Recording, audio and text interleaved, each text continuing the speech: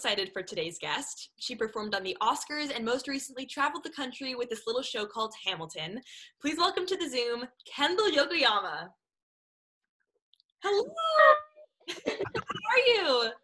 I'm good. How are you? I'm good. Thank you so much for being here. I'm so happy to have you. Thank you for having me. This is amazing. Okay, so let's talk about how we met because I think it's a pretty cool story. It is a really cool story. So we met um, in Aladdin Junior, which was, gosh, how? What show was that? Was that like number? Which like was that your fifth show or? First ever community theater show. That was okay. Me too. But you were a dancer before, so you had performing experience. Yes, I've I've been dancing since I was three, and that was my main focus for a long time. and, and I just wanted, to, you know, do the ballet track, and then I always loved singing, and then it just kind of fell into place. And my two mentors were like, "Oh my God, do theater," and then and then it happened. How about the audition? How did how, oh so my voice teacher Vanessa Townsell, uh, she recommended that I audition for Aladdin Junior, and I was like, mm, okay, you know, I'll just do it for fun. I'm still like pretty focused on dance. And then after that experience, I was like, no, I must do theater. so I finished out my dance commitments, and then just the literally a, exactly a year afterwards, I just went full force into theater.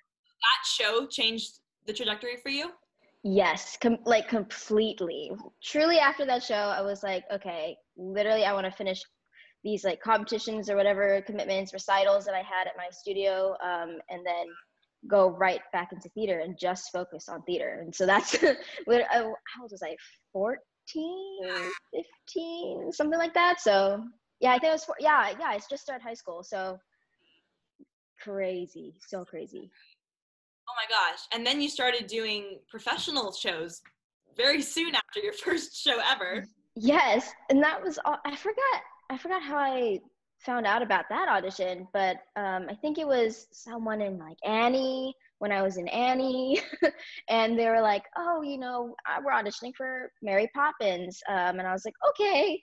And I was, you know, I don't know. I didn't know like anything of like the professional musical theater world at all, and so that was a different audition experience. And then that kind of made me feel like, oh, now I want to do like professional theater because it's just all these people are so dedicated and so just um, committed to this show. It was so exciting. So yeah, then I got bitten by that bug. So your dance background of being a competitive dancer helped you break into the theater industry like such like a full force?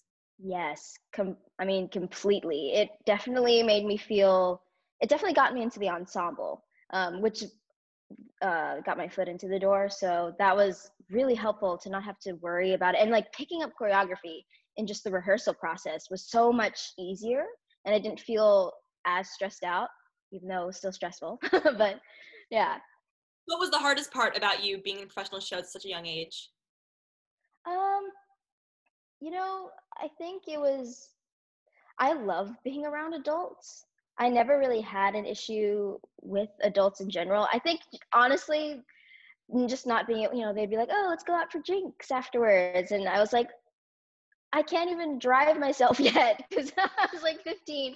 So I was like, I have a permit, but yeah, and I think that's the most awkward part. Other than that, working with people that were older than me, more experienced than me, better than me, just made me want to grow and keep doing it. So that was but that's yeah that's the only downfall is being a little young to hang out our paths crossed again children of eden. You were in the adult ensemble i was in the kids ensemble. Yes. like being in the adult ensemble at 15 um i don't know because i mean mary, mary poppins i was the exact same way and it felt very normal to me i guess because i mean i started out in um an adult ensemble and even in the community shows before that besides you know annie and the junior shows um, i was in the adult ensemble so it definitely felt very casual to just fit myself right in and actually would have felt weird for me to be um, in a children's ensemble i was offered once to be in a children's ensemble and i said no just because i was like uh, i just don't think i'd be used to it and i just i truly love being around adults Yeah. Well, I actually had a similar experience. I did Little Mermaid at Cabrillo and I was Oh, so I completely yeah. Go to a, a party because I'm like, I have a bedtime. I have school. I just graduated middle school and um yeah, it's a it's an oh my god, it's an experience that you can't you have to just experience it. It's it's a yeah, and the I mean, even just the audiences are um, just so different, and the the way they manage, you know, the show and the costumes are more most of the time are yeah, just it's a lot different from community theater. Though community theater is also amazing in its own right. so in Children of Eden, we not only got to do the show together, but we were ostriches together. We were. I don't think a lot of people are familiar with the show, but there's a Noah's Ark number where there's Yes. Like two kinds of every animal. And I remember when I was paired with you, I felt so cool. Oh, so sweet. No, I thought we were the coolest animal by far. Besides the the the panda.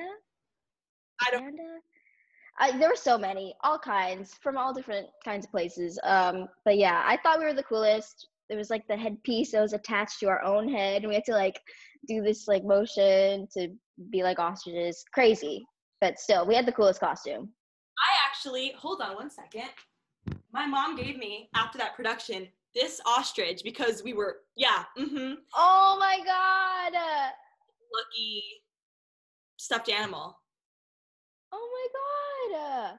This is us, Kendyl. That's so cool. And whenever Oh. I'm really wanting a, a show or an audition, I'm always like talking to this guy. So Uh yeah. Honestly, I mean, my lucky ostrich is like my my lucky sister. I'm always just like, let me we just need to talk this out for a second. I just gotta hold on to her. So I feel you. what have you been keeping yourself busy with in quarantine? Since I'm not touring anymore, no traveling, no nothing, I and I haven't been home since I left for college for at least this long. I just decided that I'd do things that I never had time to do ever. So that was learning some Japanese. So I'm taking lessons in Japanese. I I am Japanese American. I knew a few phrases, but just didn't really know how to speak it really. Um, at least conversational. So I decided, you know what, this is something I always wanted to do. This is something that I wanted to do to connect with my grandma. Um, I call her my bachan.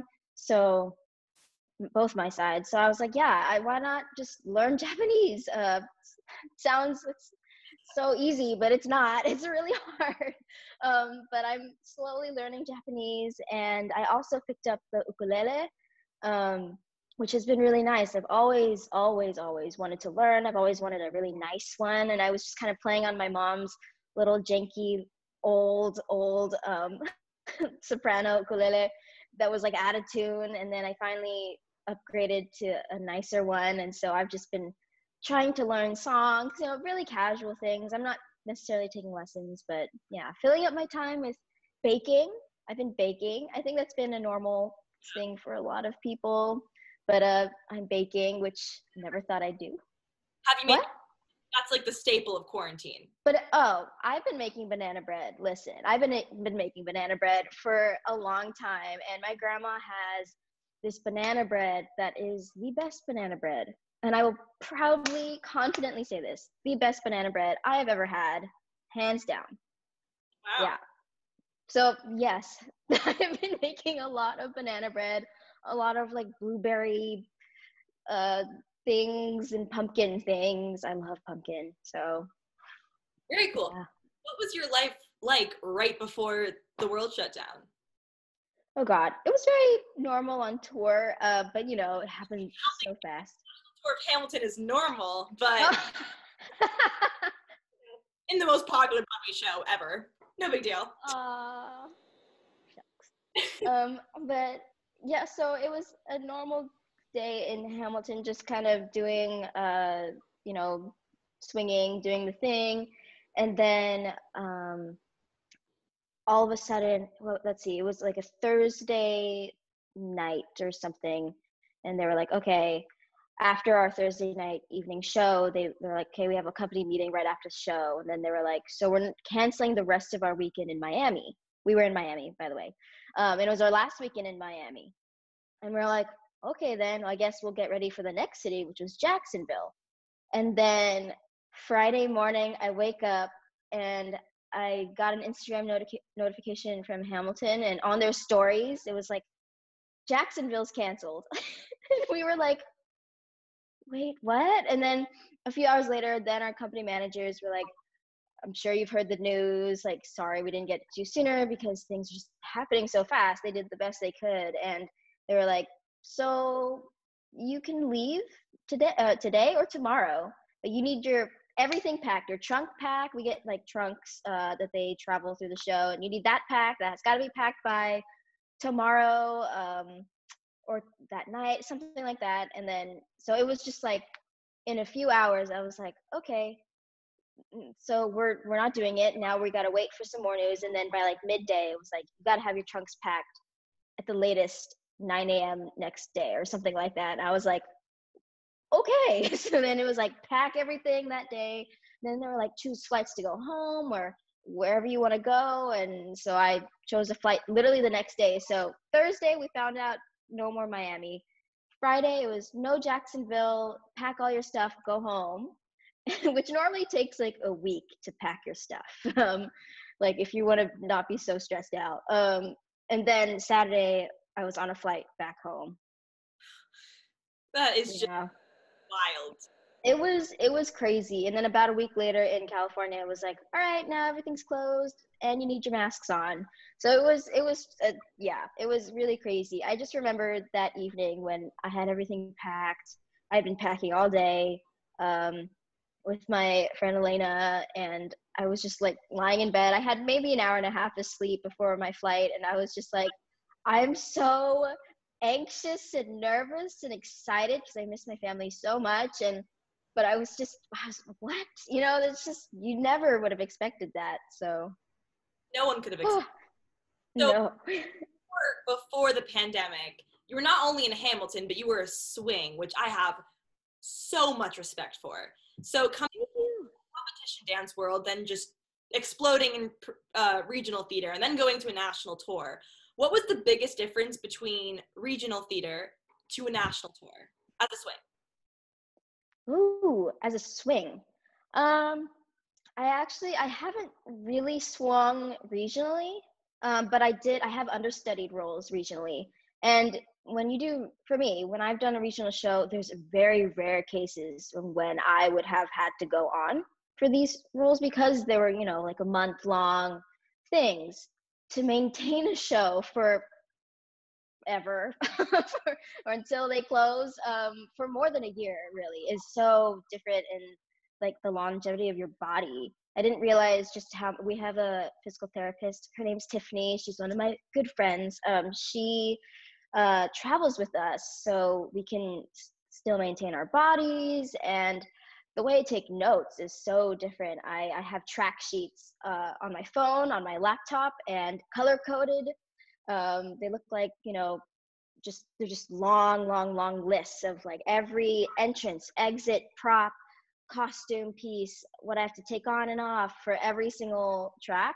Um, so it's and Hamilton compared to any of the other shows I've been in is by far the most detail oriented show I have ever been in, and also uses their ensemble the most out of any other show I've been in. We are in every single song except for two, if I'm not mistaken, and there's like 50 of them. so, so, so it's uh, it's a really big task, and every single track also has a different harmony. It's not just mm, you're alto, you're soprano, you know. It's no, it's like you're you sometimes go to alto here, and then you go to like uh, you sing with the Schuyler sisters here, and then no, you you gotta sing with the guys here. It's it's all like very nuts, but it's so it was so. I'm I'm very deal wow detail oriented, so it was such a nice way for me to do a tracking sheet, get my life together, and I I can really connect the dots after a while. But in the beginning, it was very daunting for sure. Where were you when you booked it? I was I just finished a class and my phone kept buzzing in the class, and I felt really bad. Um, but I just I just hear it. What? Feeling that it was Hamilton calling. I don't know. I don't know. No, I didn't really think so. The only person that would have been calling was Hamilton, but I thought it would have been like maybe my parent or like, like one of my parents, you know, trying to ask me a question or, you know, uh, someone else. I don't know. I just didn't really think it was Hamilton. I just felt bad that my phone was buzzing. Um, and then after class, I just got a bunch of calls and they were an email and they were like, please call us back. And it was from like at the time, the New York division of uh, my old agents and so then i called back and i was on my way to my next class uh, to my singing lesson and then uh, they spilled the news and i was uh, on my way in like the middle of the street to and i like froze in the middle of the street i didn't cry um where a lot of people cried and were around family but i just kind of like froze and i i was speechless for sure what were the thoughts like running through your mind? You- Mainly, how am I gonna move all my things from Boston? And also, it was like, how am I gonna leave school in the middle of the? I almost said, oh, it was Thanksgiving, right before Thanksgiving break. So I was like, how am I gonna leave? I was uh first semester of sophomore year, almost done with the first semester. I had really liked my first uh my semester that year and my teachers and um yeah and then that that happened and i think i was in a place where i was like no i, I don't really need you know any any professional thing right now i just i love my friends the school school is you know really fun and then that happened i was like okay then. When you found out the news were you just excited or were you nervous? Did you think about like oh my god my life is going to change? All of those things and I didn't even really I knew what a swing was, but I didn't realize what I had signed myself up for, um, what I got myself into, because um, I I saw the show once on Broadway, um, and I just thought it was great, but I just never thought it'd be a show I was in, just because I didn't necessarily see anyone who was as short as me um, in the ensemble or anywhere. So I was just like, oh, it's so beautiful, and of course I could be in it, but I still was like, I don't know. I don't know. You know, you, I think you just kind of have those doubts sometimes. And auditioning for it, I, it was such a great audition experience. And I was like, you know what? If anything, these were really great people. I had a really fun time, you know, and I'm going to go back to school. And then I think that made my reaction to it kind of like a not so like, oh my God, but just more of like a, whoa, okay, change. This is a change. And I guess I, we're going to go with it. I think your whole audition story is such a great example of how everything happens for a reason because yes going to new york like why don't you t- talk about that because i need i need to hear that again honestly okay so i was in new york um, for another audition i always forget what the audition was even for. yeah. But I was in New York for another audition. It ended early. And then I was like, okay, well, then I'll just, you know, go find another audition. I was saw once on this island and I was like, oh, why not? And I was like trying to find their dance audition. And then I just walked by Hamilton and I was like, peeked in the window and I was like, oh, like they're doing a dance call, cool. And then I saw that there was another door that had their waiting room and there were people stretching. And I was like, hmm. and then I was like, this could go so wrong or so so well, I don't know. And then I called my mom, who's kind of I, I always have like a gut instinct of like whether I should do something or not, but it's my I normally call my mom to be like, should I do this? And she was the one who like gave me that extra nudge that I needed to walk into the room and sign myself up for the audition, which was an agent call, so I wasn't supposed to be there. But yeah. That is just Could you imagine if you just kept walking? Oh my god. I I don't even know where I'd be. I can't even imagine anymore. It's I I probably would just be just be back at school. I I mean, and that's fine, but I just all the things that I've learned about myself and and about the show being able to do the show is so especially now that I am not doing it anymore it's just even more so such a gift and such an amazing opportunity and uh, I was 19 when I when I booked it so it was unbelievable. I I don't know what they were thinking. I had never swung before I was 19 it's like, like okay I'm glad they trusted me enough that now all my friends are seniors and they're getting ready for you know their their own showcase stuff, doing like directing emphasis, and so it's just amazing. All my friends are they are so talented and um, yeah, but it's such a different life. I don't I don't even know school anymore. I feel like I only know like the work and the job that I've done for the past year and a half ish or so. What have been the biggest challenges and hardships that you faced as a performer? My whole journey, not just like in. Hmm. Um, I think one of the biggest ones, and I think every Asian American or Asian performer uh, artist has experienced is discrimination. And I just remember I never felt so um, stuck really in like in an ensemble track um, until I went into an audition and it was for uh, Addams Family and I was trying to audition for Wednesday and the director said after I finished singing the director told me you know you can't be Wednesday Addams because you are Asian and your family would have to be Asian in order for that to make sense. And I was like, huh? I grew up watching Lea Salonga and Les Mis, so I thought that was fine, you know?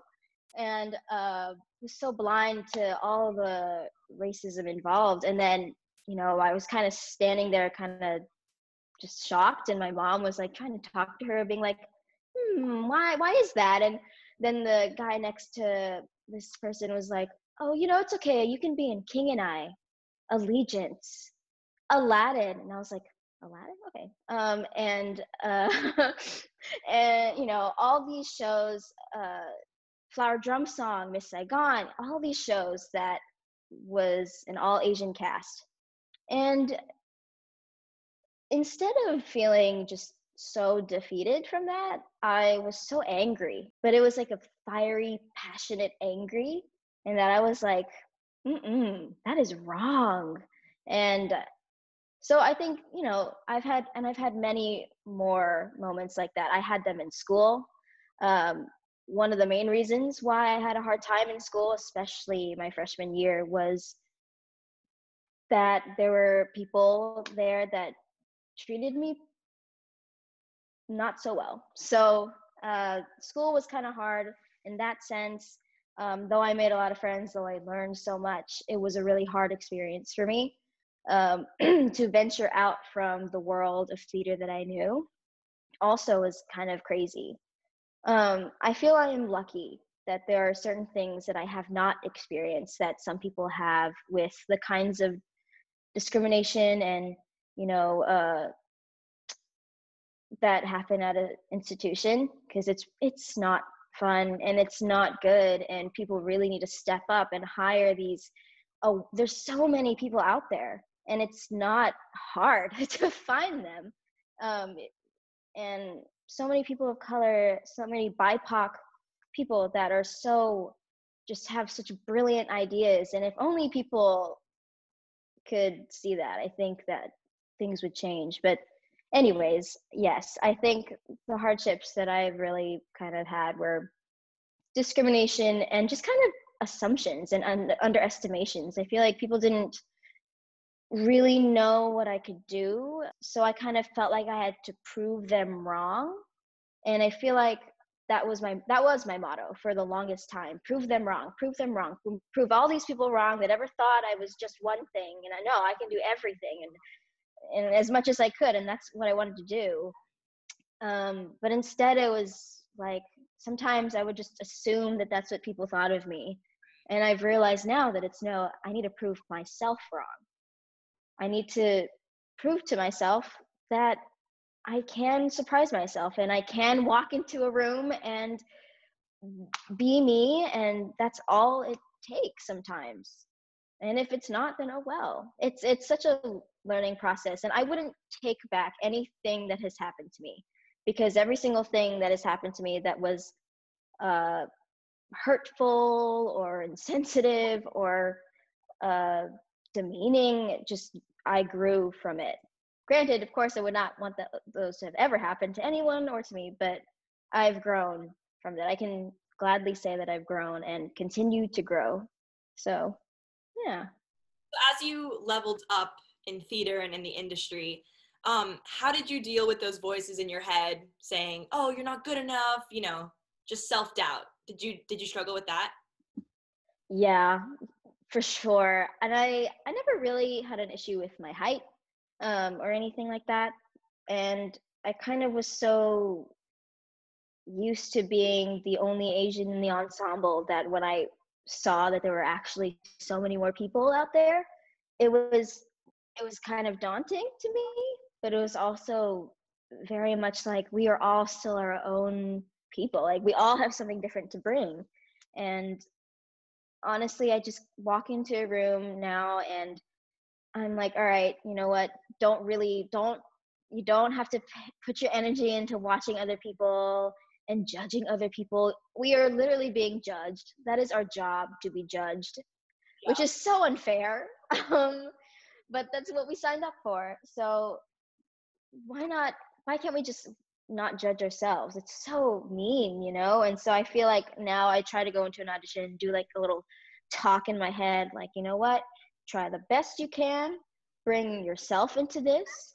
And if that's not what they want, then it's not meant for you anyway. It's their loss and it's not meant for me. Yeah, things happen for a reason. And if I fall on my face in an audition, like, of course, I'm going to be like, oh my God. But at the same time, I'm going to be like, well, apparently I was supposed to fall and learn from that. I've learned from every time I've done an audition where I felt so uncomfortable. I, I have those like in my like body. I can feel the way I felt back then um, in those auditions, and you know, I'm like, I don't want to feel that way. And I made myself that way. Don't be your worst enemy, you know? This morning, out of nowhere, I was thinking about an audition in my past that went just horribly wrong. And I was just how like awful that experience was. But if it had gone well and say I had gotten into that show, then so many things wouldn't have happened because I wouldn't have been available to audition. So it's like, you know what? Even the times you fall on your face, you're meant to fall on your face because you're going to learn you're going to get back up and get something even better yes ex- that's that's completely exactly it and that's actually kind of what happened with with Ham- right before hamilton. I was like i auditioned for a show. It actually went pretty well but then i didn't get it and i was so bummed but it ended up i ended up being able to do another show and that experience helped me with my hamilton audition and i would have not been able to have the audition that i had without that experience it's like a full circle, you know? I had an audition the day before I auditioned for the prom that just went, it just didn't go well. And I, yeah. it hurt, you know, it, it hurts. And sometimes yeah. in others. And all of those auditions that just didn't go my way helped me for the one that did go my way. Yeah, it's so easy to like slip into that failure mindset, but truly mistakes are gifts because you learn you learn from them, you know? So, what advice would you give either to your, you know, 14, 15 year old self auditioning for these daunting big professional shows, or just for people who struggle with the voices inside their head at auditions? Definitely, one thing I would say is to not worry so much. I, I I'm very ambitious. I am very competitive. I coming from a competitive dance world, you know, and I I feel like it, you know, I I would just tell specifically my younger self, like don't worry things happen for a reason and things are going to happen to you and change is going to happen to you and you can handle so much more than you think and uh, you will get through anything you know? And i just have to remember that you know you have those constants in your life. You have whether it's you know family or friends you have those people in your life and stick to them because those are the ones that matter and those are the opinions that matter besides your own but overall i think the biggest thing that I would want to tell young performers is to prove yourself wrong. I know I said that before, but I, I went in with such a mindset of prove them wrong for so long. And I, you have nothing to prove to these people.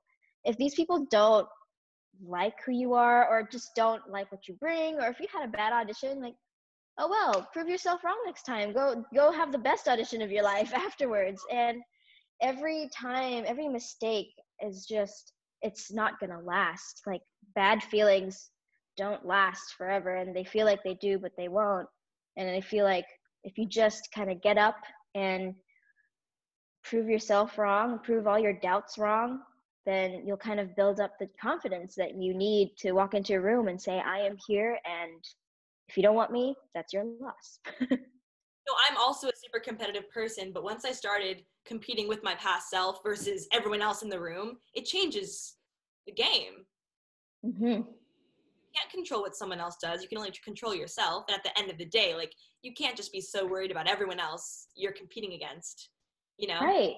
Right. And also like people in the room, like if you watch them, they're amazing. Some of them are so good. And even that in itself is a learning experience. But really focusing on yourself is the most important thing. And exactly what you said.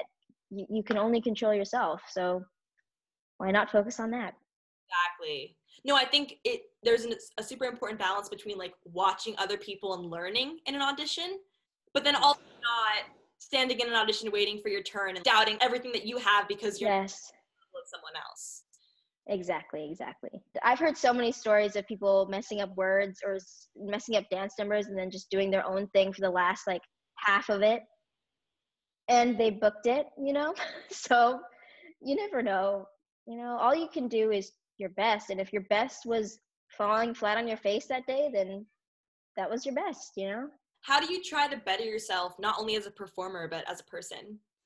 During the pandemic, I definitely have been trying to be more aware of how I think about myself and definitely how I uh, look at the world, of course. Um, I've been going to therapy, which has been, which is very new to me, new territory, haven't done it before. So um, but it has been in just the little while that I've been with my therapist, it has been so wonderful to kind of break down certain things and certain doubts and stresses and anxieties that I have. And it's going to really help me move forward because it really did hinder me and I didn't do a lot of things because of it. I've also been reading. I've been reading a lot, um, a lot of books. Um, uh, I read Minor Feelings and just a lot of other books about uh, Black lives and really having conversations with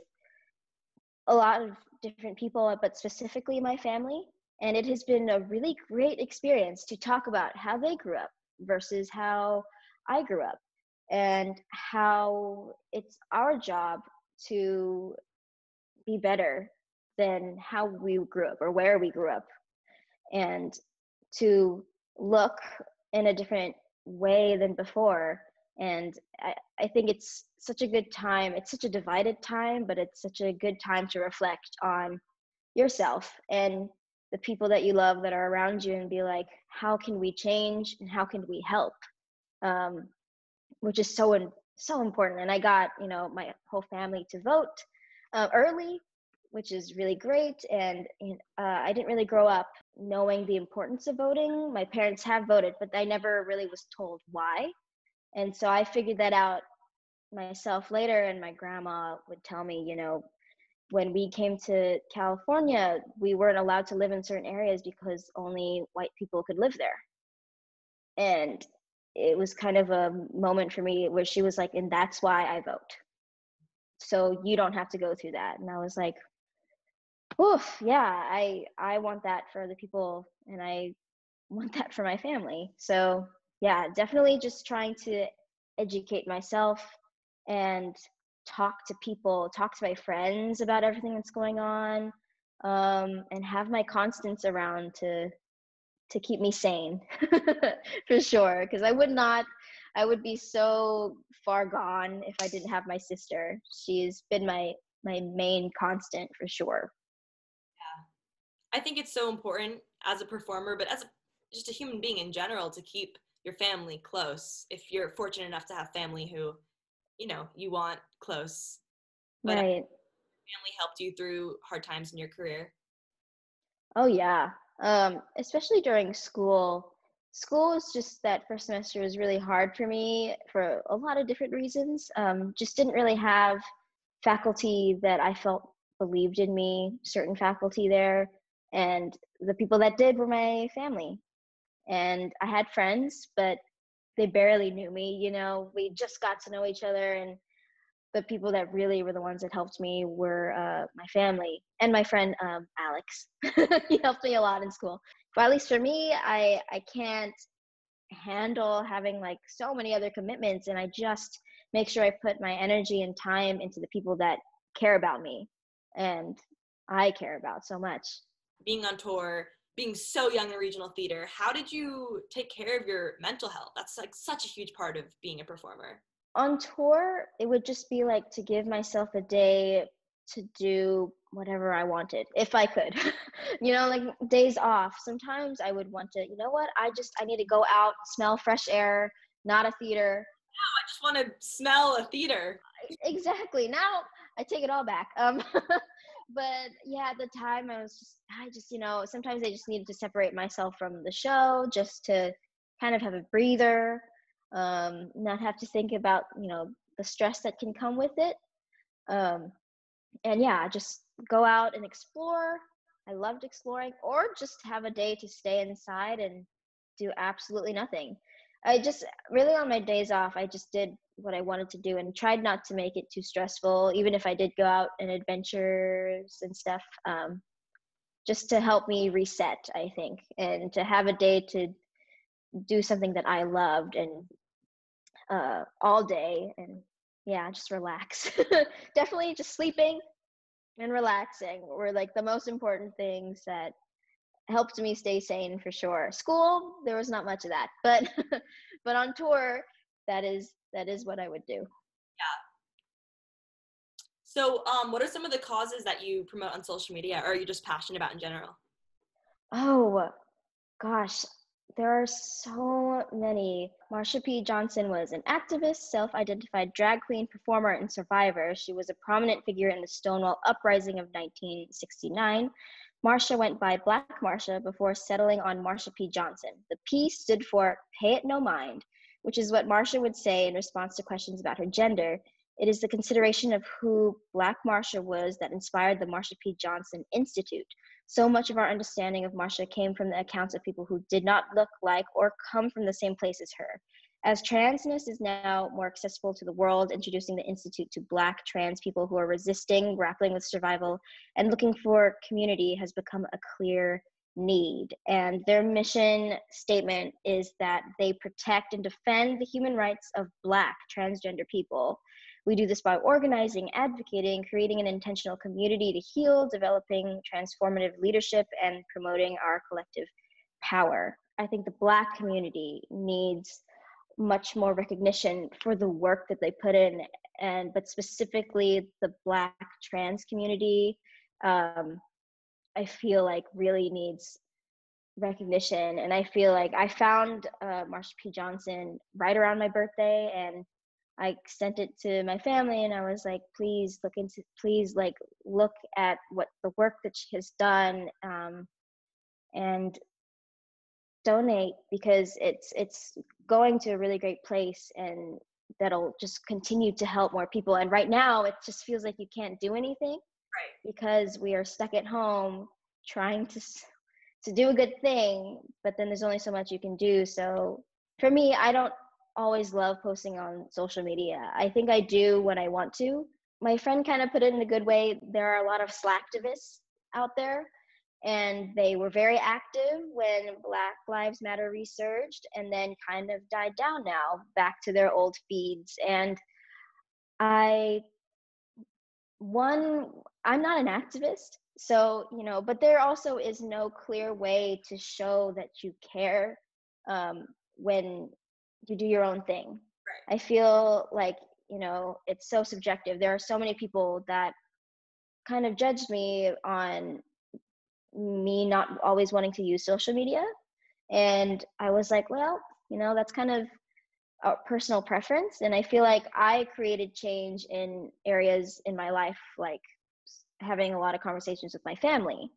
And I had a lot of conversations with my family uh, that to me helped my my little community at home and i feel like people not only need to go out into the world and talk to other people and post on social media but they need to focus on their own communities because that's really where we can make the most significant change. And i feel like some people forget about that but once we kind of do that then it's kind of a ripple effect and then we can see a bigger picture. But it all starts with with where we are now you know? Um, that being said i think it's great that you know if people want to do that that's great but i don't think it's fair when people judge other people for not doing what they think is right if you could tell your 15 year old self one piece of advice what would it be? Ooh my 15 year old self. I i would tell her to keep going. And that sounds so cliche but uh i would tell her to keep going because i just started theater and it it's correct. That feeling that you're having is right and that feeling that you're having is meant to be for you and for that time. And it's also i kind of thought that it was too late for me to start theater by the time i was 15 because so many people did it in school and when they were little and i just started and it is never too late. It is never too late. I mean if you really think about it for me a nine to five job sounds not so great. I'd much rather go to the theater in the evening or in the afternoon and have my weekends filled up with theater than to have them filled up with a regular nine to five job. I think if you if you love it enough and you know in your heart that you love it enough, there's nothing that can stop you besides you. Mm-hmm. Oh my God, preach! It's like everything else will fall into place even yeah. if you're not like talented enough or at the level you will work you will you will get there by working hard but if you love it i think that's kind of the only thing you need because everything yes. will fall. Yes. I think if you love it enough and you are willing to work hard for it because there are a lot of people that love it are talented enough but they may not want to put in the effort then maybe it's time to rethink. But if you are willing to put in the effort blood sweat and tears and yeah, you just have your whole heart in it. Yeah, there's really nothing that would be able to stop anyone from doing that. Is the big dream Broadway? Oh, um, there's so many. I don't know. I I kind of you know, I had like such like I was like when I was younger, I was like, all right, I'm going to be, you know, on like in movies by the time I'm 23 or whatever I said, and maybe I was 21, 21, and and I was and you know do the whole glamorous life, and I definitely don't have that dream anymore. I'm also 21 now, so that dream's gone. Um, but I I think yes, definitely Broadway will always be a dream. I have roots in TV and film that's kind of how I started acting. So I would love to kind of go back to that. I'm just really keeping my options open. I the best advice I was ever given when I was like, do I do theater? Do I do TV film? What do I do? They were like, go with the one that you have the most opportunities first. And then you can always go back. There there's nothing that would hold you back. So I was like, okay. And then theater kind of started happening more and then now I'm here and eventually I'm definitely going to want to go back into TV and film. I mean, now I want to go back into TV and film and I'm living in LA, so it's even more so, but uh yeah, definitely keeping my options open, but TV film would be wonderful. I'd love to do a show. I'd love to originate a show. Um and I'd love to do shows that and work in general that are have a good message that are important that have a lot of BIPOC representation um, in any kind of media, really. So that would be the dream: is to be able to work with uh, any one of a whole team of BIPOC people. That would be, whew, that'd be such a dream. If we can handle a pandemic, we can handle anything. So just stick it through and we'll come out of this stronger and happier and better than ever. Thank you so much for doing this. You're amazing. Thank you. I'm so inspired. I'm just, I'm so excited for you. I mean, I knew in Aladdin that you were ridiculously talented, and then your trajectory just went. Oh my God. I remember seeing your post for Hamilton, and I was like, not surprised at all. I mean, so talented and, and sweet, and you just deserve the world. So I'm just so happy for you. Well, look who's talking. Literally, you are in prom. that is so cool. You got to work with insanely talented people, and you are just as insanely talented. Literally, you yeah you you are also for I'm gonna say this out loud to people. For those people that do not know, Julia is such a lovely human. And that's what matters. If you are a good person, you will go far. And she just happens to be a good person and talented. Thank you. So there's n- literally nothing that can stop you now. I'm so I'm just so proud of you. You've done so much and uh and now you're doing this and you don't have to. You just want to. Uh I love it. I love it.